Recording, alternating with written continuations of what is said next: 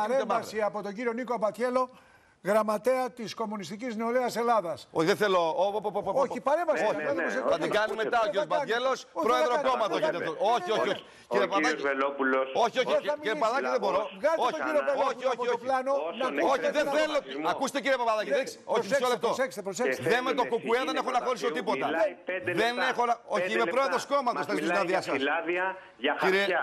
κύριε- Στα πέντε λεπτά Για- τον ακούσατε να λέει τη λέξη Μολότοφ; Καλά Στα πέντε πλάκα λεπτά μου. Τον ακούσατε να λέει τη λέξη Κύριε σιδηροδρομική. Παπαδάκη, παρακαλώ πάρα πολύ, Όλα αποχωρώ τώρα. αυτά Όχι, που μην λέτε αποχωρείτε. Δεν το έχετε κάνει σε άλλο πρόεδρο αυτό ποτέ. Όχι, Μισό λεπτό, δεν κύριε επιτρέπω σε Παπαδάκη. κανέναν. Μισό λεπτό. Όχι, δεν είναι εκλεγμένος ο κύριος Πατέρα, όπω λέγεται. Είναι γραμματέας. Βγάλτε βουλευτή. Είναι Όχι, δεν είναι εκλεγμένος. γραμματέας. Είναι εκλεγμένος. βουλευτή. Όσων μάχονται Δεν απέναντι βγάλτε στο βγάλτε φασισμό βουλευτή. Είναι εκλεγμένος. Δεν μπορώ. Δεν μπορούμε των να- εγκληματιών Κύριε φασιστών Παπαδάκη, που το έχετε έγραφαν ξανακάνει αυτό σε πρόεδρο αυτές τις κόμματος. μέρες στο Το Επάλτοπολη. έχετε ξανακάνει σε πρόεδρο Δεν κόμματος. θέλω να- Δεν τον Ε, έβγαλα λοιπόν, σε καταλαβαίνω αντιπαράθεση. λοιπόν Μα ότι δεν αυτό με λέγεται αφήνετε και να προβοκάτσια απαντήσω. στην αριστερή γλώσσα. Δεν με αφήνετε να σα Τι να απαντήσω. Πάθετε, κύριε Βελόπουλο, Δεν να έχετε την αποτελεί άποψή του, αντιπαράθεση. Όχι κύριε Δελατόλα, με καλέσετε για να μιλήσω, όχι για να αντιπαρατεθώ. Δεν καμία αντίρρηση. Θέλει Δεν με καμία ενημερώσετε για αυτό το παρέμβαση. πράγμα εμένα. Δεν ενημερώνουμε τους Διάλογο καλεσμένους. κάνουμε. Όχι κύριε Παπαδάκη, επειδή ο κόσμος αντιλαμβάνεται κύριε Δελατόλα Λοιπόν, τι όλοι μαζί. θέλει τώρα. Κύριε Βελόπουλε, σας υποτιμά κανείς. Θέλει ο άνθρωπος να κάνει μια παρέμβαση. Λοιπόν, θα κάνουμε μια λεπτό, μικρή μισό λεπτό, διακοπή. μισό Μια λεπτό. μικρή διακοπή για να ηρεμήσουμε. Μισό Μια λεπτό, μικρή κύριε αεροπλή- Βελόπουλε. κύριε Βελόπουλε, μια μικρή διακοπή για να ηρεμήσουμε.